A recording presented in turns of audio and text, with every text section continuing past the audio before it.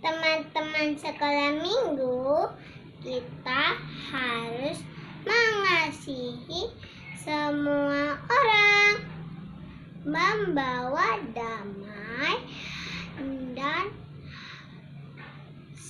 senantiasa memberkati. Benar Iveta, kita harus mengasihi dan membawa damai di mana pun kita berada. Mulai dari mengasihi papa dan mama dan juga semua orang. Coba Iveta baca 1 Petrus pasal 3 ayat 10, 11, dan 12. Oke, siapa yang mau mencintai hidup dan mau melihat hari-hari baik, ia harus menjaga lidahnya terhadap yang jahat dan bibirnya terhadap ucapan-ucapan yang menipu.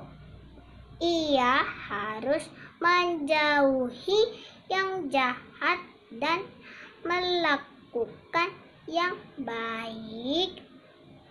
Ia harus mencari perdamaian dan berusaha mendapatkannya.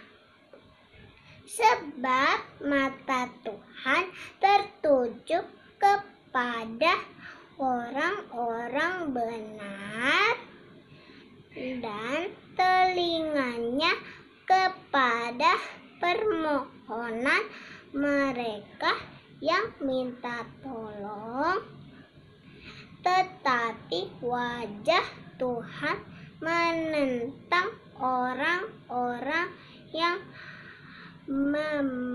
berbuat jahat.